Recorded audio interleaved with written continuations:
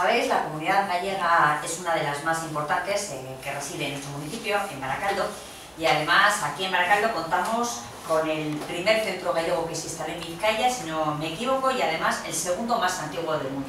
Digo que, como decía, la comunidad gallega es una comunidad muy importante en Baracaldo.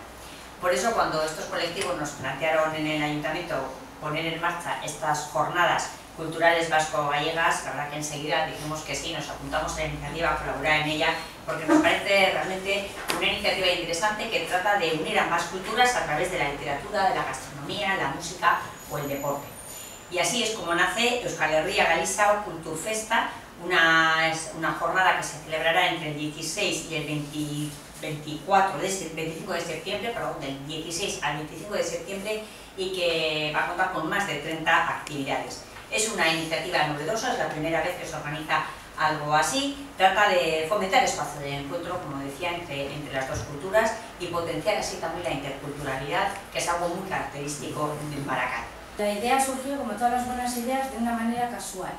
En una conversación entre varias personas se comentó que el día de la, de la fiesta de los músicos, Santa Cecilia, se habían juntado en el Centro Gallego 50 músicos eh, de instrumentos vascos y gallegos y habían hecho una sesión de música. Entonces eh, nos pareció una buena idea y pensamos que cómo podíamos eh, llevar eso a la práctica, hacer algo. empezamos a discutir y, y vimos que, o nos dimos cuenta que la cultura gallega y la vasca mmm, tienen que tener muchos puntos de encuentro y también cosas diferentes, pero que somos eh, desconocidos, somos dos comunidades que vivimos juntas, pero no revueltas, es decir, hay mucho desconocimiento. Entonces hicimos un llamamiento a distintos colectivos de Baracaldo. Vamos a tener conciertos de la banda municipal y de la, de banda municipal. Habrá también otros tres conciertos, eh, folk, a cargo de Folketan, Suduruski eta Faranduleidoak y Rula Bula, que es un grupo que algunos de sus músicos forman parte de Baracaldo, que ganaron ya un premio en el Festival de Ortiveira en el año 2013 y es un grupo ya con una cierta calidad. ¿no? Eh, actividades infantiles también nos ha parecido muy importante y ahí va, va a haber una serie de, de, juegos tradicionales, chapa, trompa y algunos otros, que, se, que algunos críos y crías los verán por primera vez y que, que vamos a intentar recuperar. Deporte rural, también participativo que correrá a cargo del equipo del Colegio Público de Arte de pero que podrá participar todo el mundo que quiera.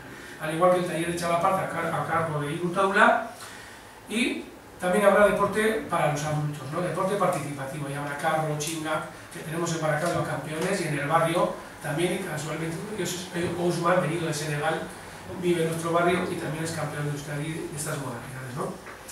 Y, lo que hemos buscado también en este programa es compartir la calle, ¿no? que haya mucha animación de calle. Hemos hablado de conferencias, habrá algunos conciertos corales también de la escuela y o no solar que serán dentro del centro gallego, las charlas también dentro del centro gallego que se me olvidó comentar, pero vamos a buscar el encuentro en la calle. Hemos preparado muchas callejías, pasarrúas, en la que tanto la gaita como la alboca, el chistu, la dulzaina, el pandero van a estar presentes a lo largo de todos los días. ¿no?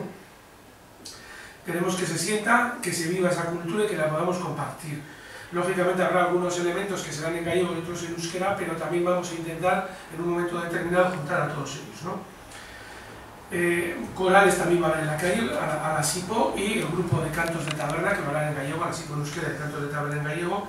Y por primera vez en Baracaldo también hay una actividad que nos conviene resaltar, que es eh, vamos a hacer una sesión de bercholarismo, pero también en la calle, con Miguel Muniza, su campeona de Vizcaya, y Arqueis Estibáñez, campeón de Vizcaya este año, y también Regueifeiros, que digamos que es la versión de los bercholaris, pero en Galicia, ¿no? que están recuperando y vienen desde ahí, que en concreto os digo el nombre porque se me un poco, Josiño da Teixeira y Vieito Lomariñas.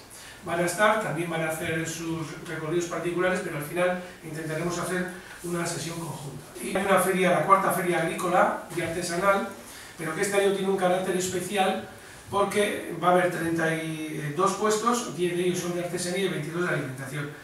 En esos 10 puestos de artesanía vamos a tener la presencia de Seibane, que viene desde Galicia. Seibane, produce hoy en día, es también luthier, y hoy en día produce el 80 y el 90% de las gaitas gallegas que existen en el mundo, que se tocan, de hecho que los grandes instrumentistas, incluso Mike Oldfield, por ejemplo, para que nos hagamos una idea, le compran los instrumentos a esta persona. No es toda una institución y va a viajar por primera vez a Baracaldo a exponernos un poco sus productos. ¿no? Junto a él va a venir Sanin, que es otro eh, que produce panderos y otros instrumentos de percusión, que vende por todo el mundo y viene también desde Galicia. Por primera vez también en Baracaldo, los vamos a tener ahí. Y además van a compartir espacio con Osés, que es uno de los eh, fabricantes de albocas y es uno de los que ha recuperado este instrumento, al que se le debe mucho, y también nos va a hacer una exposición de, de, de albocas. ¿no? Y junto a él, Hochen, que hace lo propio de Chalaparta. ¿no? Es también el luthier de Chalaparta, así vamos a tener este espacio. Habrá artesanía de piedra, de tela, cerámica, etc. Y en cuanto a la alimentación, sí que hay unas novedades, porque lógicamente tendremos el pastel vasco y otro tipo de repostería, pero va a haber un puesto especial de repostería sin gluten y sin lácteos. Es unas personas de Carroza, que la chica en concreto es celíaca, y bueno, viendo la deficiencia que había en este campo, pues ella empezó a trabajarlo, lo está trabajando, incluso está viendo la posibilidad de hacer pastel vasco, eh, con otros ingredientes y nunca ha estado en Maracaibo, ¿no? incluso pocas ferias ha habido y la vamos a tener en.